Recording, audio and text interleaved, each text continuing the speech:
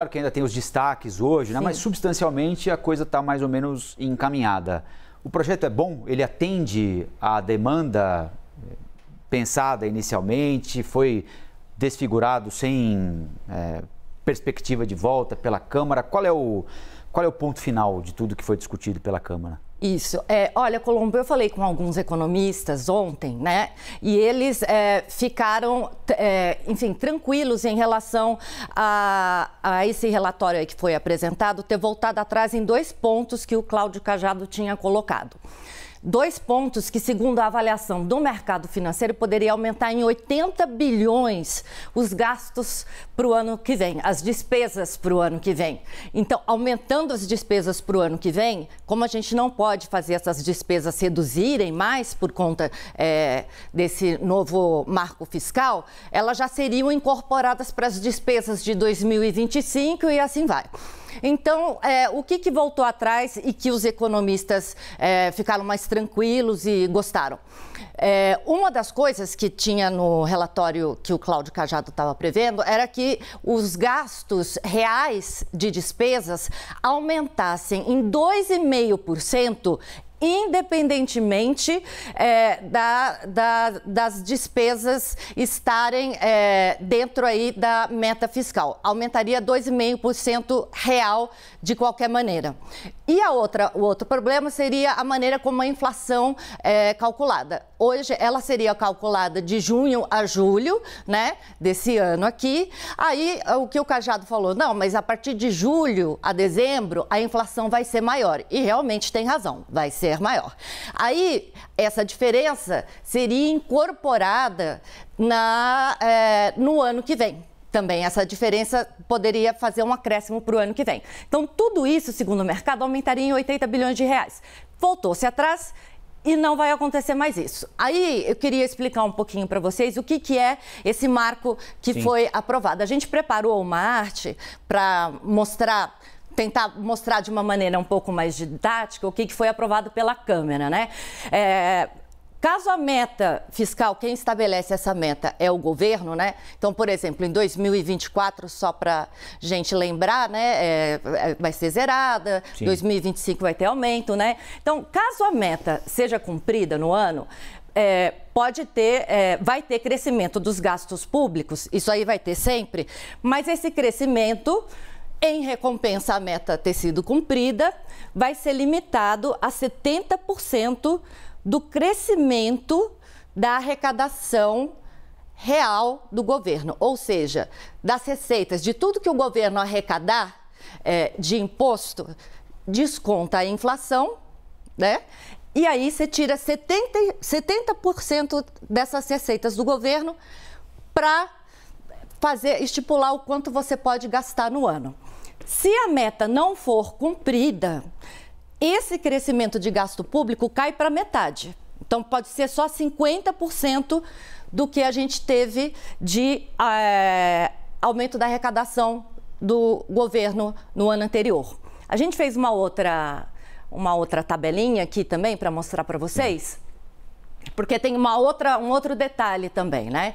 Então, é, vamos considerar que a despesa no, no ano, nesse ano aqui, vai, seja mil reais, só para ter um número simples para a gente fazer as contas, né? E uma inflação de 5%. Então, se a arrecadação, essa arrecadação de mil reais ficar acima é, do piso, é, vai ser cobrado é, a inflação mais 0,6%. Esse 0,6% faz parte de uma banda que o governo colocou para reajustar de maneira real as despesas. Então, se a, a, meta de arrecadação ficar dentro do piso ou for acima do piso estipulado de meta do governo, a gente pode ter uma variação real entre 0,6% e 2,5%. Então, se ficar dentro ou acima, a gente dá a inflação mais 0,6%. O reajuste pelo piso ficaria 56 reais, então total R$ 1.056. Se a arrecadação ficar menor que o piso, é, a gente vai dar a inflação mais é, 2,5%, um reajuste pelo teto de 75 reais, um total de 1.075 reais.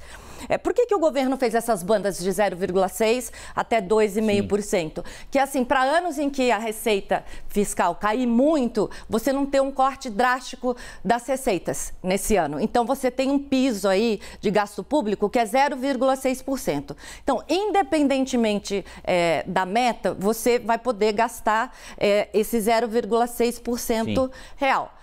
Agora, se a gente tiver um ano de arrecadação super bom, e a, aí tiver é, passado essa banda de 2,5%, a gente pode usar esse extra da arrecadação ou fazendo investimento ou pagando dívida, né? Para diminuir a relação é, de gastos e receitas. Hoje a gente está com o orçamento no vermelho. Sim. A ideia do governo é zerar e depois colocar a gente no azul de novo, o que seria muito importante, tanto para é, crescimento sustentado, quando a gente olha aí no longo prazo, porque isso traz mais confiança dos investidores, é, mais confiança eles vão comprar mais títulos de dívidas nossas e não vão pedir juros tão altos, então a gente vai ter juros cada vez menores, isso ajuda também a baixar os juros aqui dentro, então você cria todo um ciclo positivo dentro da economia que é, estimula aí um crescimento sustentado e não em voo de galinha,